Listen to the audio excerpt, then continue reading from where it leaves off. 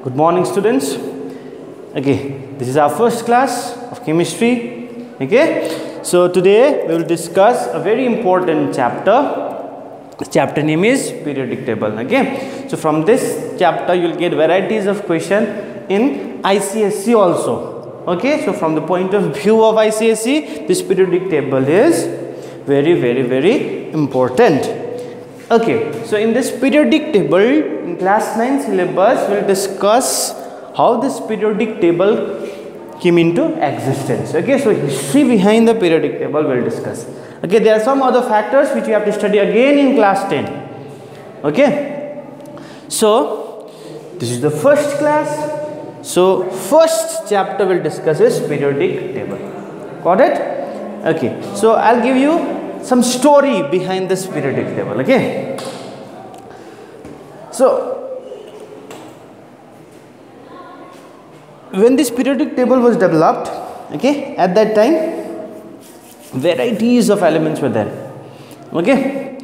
So before that particular periodic table which you find in books okay before that there were so many elements discovered but that systematic study of that elements was not done actually. Okay? So why there is a need of the periodic table? I'll give you this idea. Okay. Previously there was 19 elements. First discovered 19 elements were there. Okay? So that was not systematically managed. Okay? So to manage varieties of elements. Okay? We need some particular set. Okay? So in that particular set we can put elements there. It or not? So that to build that type of set we have we come across so many scientists and their ideas of classification of elements in that particular group. Got it? So the first law and the first scientist who has given us the idea of classification was Dobereiner okay so the first person who start who started arranging elements in a definite group okay was Dobereiner he gave one law. That law is called Dobereiner's law of triads. Okay the first person to give us the systematic study was Dobereiner's Dobereiner and he gave us one law. That law is called Dobereiner's law of triads. Actually this triad is nothing. Tri meaning three. It's meaning group okay so this triads the meaning of triads is group of three elements. Okay so this law gives us what? Group of three elements. Very simple. Triads meaning group of three elements. Okay now how this group is formed This group is formed when elements are arranged in an increasing order of atomic mass. Remember increasing order of atomic mass in a group of 3 then okay let me write lithium okay sodium and potassium okay 46 okay this is a, okay let me write here 40 this is 6 okay so triad is actually a group of three elements like this in which the average of atomic mass of first and last. Average of atomic mass of first and last will be the atomic mass of middle element okay let us check this statement the statements the statement of Dobereiner law states that the sum average or the average of atomic mass of first and last element will be the atomic mass of the middle element. Okay, how to get average? 40 plus 6 divided by 2. How much? 46 by 2 it's 23 yes or no? So 23 will be the mass number of middle element. Got it or not? So in this is the way given by Dobereiner okay for the first time to make systematic and classified study of elements. Got it? So triads say that it is a group of three elements arranged in a group in which the sum average or the sum or the average of atomic masses of first and last element will be the atomic mass of middle element. Okay? So the first example i've given lithium sodium and potassium. You can find on another examples in the book. Got it? Try to find. Okay so this is the first classification okay why there is a need of such type of classification? Okay i'll give you a simple example. When you go to grocery shop okay you'll find different cells yes or no? In one cells you'll find only biscuits. In one cells you'll find only uh, what we called okay shampoos and toiletries etc okay yes or no? So if you ask for the biscuit then it helps shopkeeper to get that biscuit easily if the biscuits are arranged like this classified like this he can easily go there and he can easily pick one and he, he can easily give it to you. Yes or no? So this is the systematic way. So in the same way, this particular periodic table can be designed for the convenient for us to study. Okay. Now the first is Dobereiner law of triads. That is the average of mass atomic mass of first and last will be the atomic mass of middle. correct? So yes, this law is not applicable for all the elements. So there is the failure for this law that is demerits of this law or the limitation of this law. So what was the limitation? First limitation of this law is this law with the help of this law we can arrange or he Dobereiner could arrange only nine elements in three groups. Got it? So one I've given you the example lithium, sodium and potassium. Other two you find in your textbook. Got it? So the demerit of Dobereiner's law was actually this law with the help of this law we can arrange only nine elements in three groups or we can write he could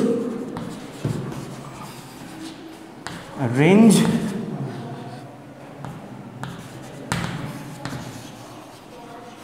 nine elements in three groups. So at that time so many elements were there but he, he could arrange only nine elements in three groups. Got it? So this was the demerit of Dobereiner type. Since this is failed now we cannot use this anymore okay so if it is failed then we will have or we had we can call we had because it's very very very very old so we had another law that is second. Okay let me, let me number this two. Okay. So the second person who gave us some idea about the classification was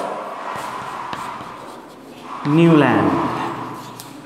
Okay, and he gave us another law, his idea regarding the classification. Okay, and the law is Newland's law of octave. Newland's law of octave. So, according to this law, okay, he started arranging elements in eight different groups that is octaves okay so according to this law if elements are arranged in an increasing order of atomic masses then every eighth element will have the properties similar to its first. Okay? And he okay. So the Newland arranged the element according to musical note okay let me write this.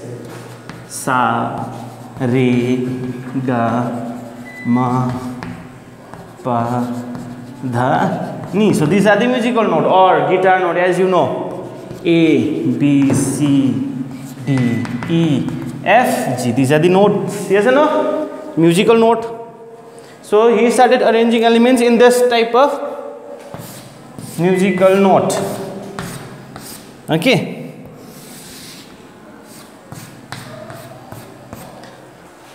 so every eighth element will have properties similar to first.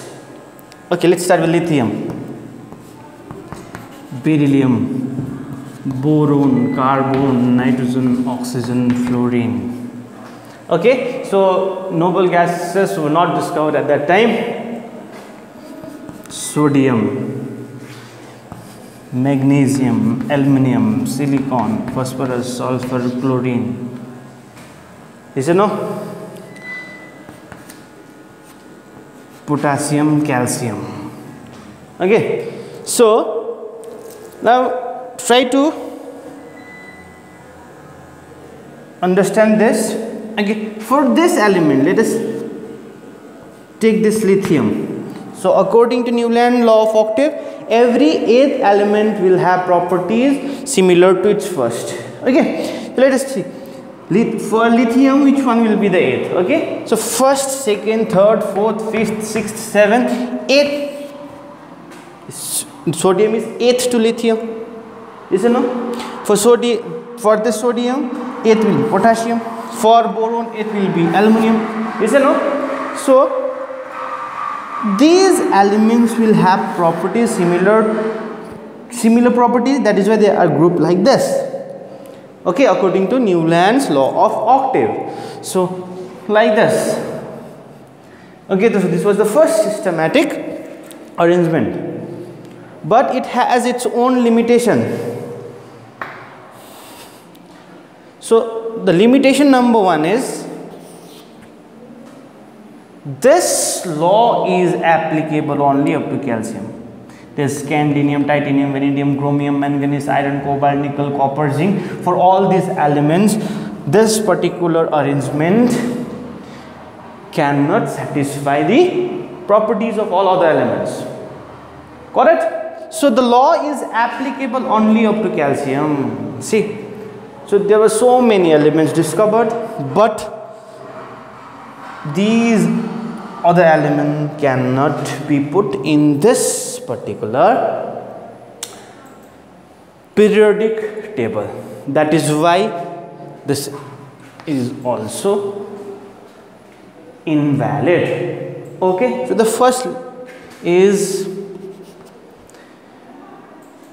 applicable only up to calcium. Okay? In or on another limitation is also there. This is limitations. Okay? Another limitation in order to arrange some other elements such as nickel iron this type of elements are grouped together like this. Okay? So this cannot be done so another limitation is grouping of two or more elements in a same group like this okay this is also cannot be done. That is why this newland law of octave was invalid one. Got it? So since this is invalid we come across another okay let me write this another classification type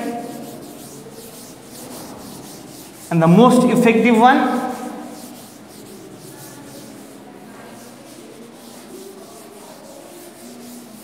and that effective periodic table was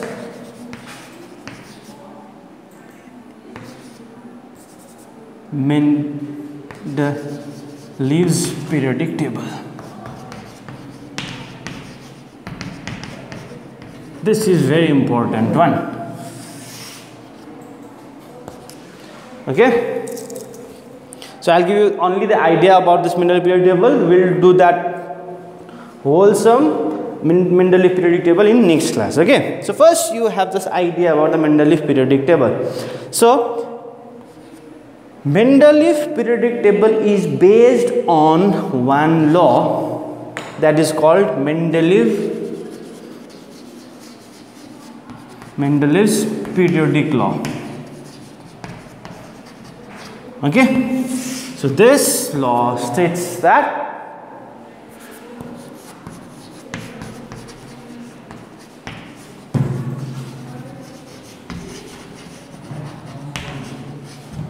physical and chemical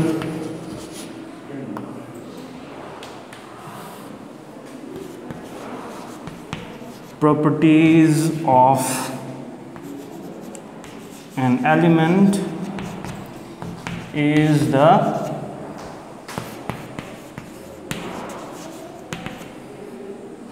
the physical and the chemical property of an element is the periodic function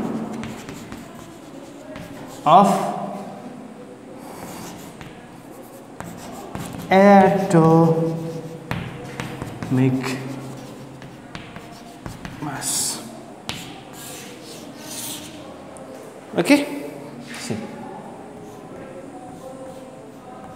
I am highlighting this remember atomic mass. I am highlighting this atomic mass because this this is very important according to Mendeleev periodic table. Okay? So in Mendeleev periodic Mendel, Mendel Mendeleev give us one law. The law says that the physical and the chemical properties of an element is the periodic function of atomic mass. This is very important part. So according to Mendeleev he started arranging elements okay with increasing atomic mass. Got it? So this law is very important. Okay keep this law in mind. Okay then we will do this Mendeleev periodic table. What type of mm, uh, periodic table we get? Okay or Mendeleev what type of periodic table Mendeleev gave us? We will discuss this in our next class. Okay so today we have discussed about or we have gone through some history behind the periodic table okay? The first systematic study was given by Dobereiner okay? So Dobereiner law was known as Dobereiner's law of triad okay? This gives us idea about the group of element group of elements okay? So this group is made by three elements in which the sum of some average of atomic mass of first and last will be the atomic mass of middle element. Okay? So this was not this was invalid because of that particular um, law was applicable or or that law can make only three groups with nine elements. Okay? So after the after that we will we had discussed about Newland's law of octave. So what was Newland law of octave? New, uh, Newland law of octave was a